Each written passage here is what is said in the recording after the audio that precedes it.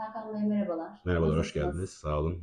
Tanıyabilir miyiz? Kendinizden ve kurumunuzdan bahsedebilir misiniz? Tabii ki 2018 yılında e, Seferihisar'a geldim. Alsancak'ta başka bir kurumda görevliydim. E, burada bir kurum açmak istedim. E, 2018 yılında başladık eğitim öğretim hayatına. E, önce tabii e, beni ilk defa tanıyorlar, yeni gelmişim. E, bu süreçte belli bir grup öğrencimiz oldu. Hatta 60'a yakın bir öğrencimiz oldu. Sonra e, gün geçtikçe bizi tanımaya başladılar. E, benim dershane tecrübem cidden e, iyi noktada. Yani e, bu işin menbaı olan Alsancak'tan geldiğim için e, eğitimle öğretimle ilgili en azından bilgi sahibiyim.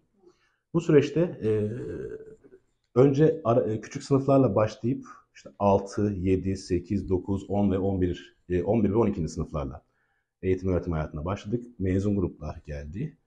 Ee, Daha önce farklı bir noktadaydık. Hükümet konağının oradaydık. Ee, an- Ancak iş öyle bir noktaya geldi ki büyümemiz gerekiyordu.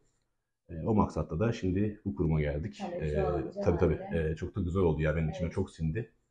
Evet, Şimdi buradayız. Eğitim öğretim hayatına devam ediyoruz. Peki, teşekkürler. Ee, yaptığınız çalışmalar ve eğitim sistemiyle ilgili bilgi verebilir misiniz Bey? Tabii ki ki e, özellikle sınava hazırlık grupları ile ilgili şunu söyleyebilirim. Çok ciddi çalışmalar yapıyoruz. Yani her hafta birebir etüt, e, quizler, e, deneme sınavları, yani sınava hazırlık sürecinde çok yoğun bir çalışma içerisindeyiz. Ara sınıfların da özellikle e, okul sınavlarına hazırlık döneminde çok ciddi çalışma yapıyoruz. Yani onlarla ilgili sınava hazırlık testlerimiz var. Okul sınavlarına yakın soruların olduğu testlerle ilgileniyoruz. E, gerçekten çok ciddi çalışmalar var yani. Kaygılı nesil, yetişiyor diyorsunuz. Ee, ebeveynlere tavsiyeniz neler olabilir? Bununla ilgili biraz Evet, özellikle sınav gruplarının kaygıları çok ciddi noktalarda. Ee, tabii veliler de aslında aynı kaygıyı veliler de taşıyor. Şimdi bu noktada velilerin bir tık daha soğukkanlı olması gerekecek. Çünkü biz burada zaten öğrencilerin o sıkıntılarını gidermeye çalışıyoruz. Velinin kaygısı öğrenciye de yansıyabiliyor.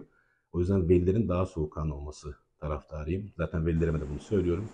Çünkü bu üçlü yani veli, öğrenci ve öğretmen üçlüsü e, cidden çok önemli. Bu üç, üçlü eğer birbirini iyi tutarsa öğrencinin başarısı kaçınılmaz oluyor. Peki çok teşekkür Ben ediyoruz. teşekkür ederim.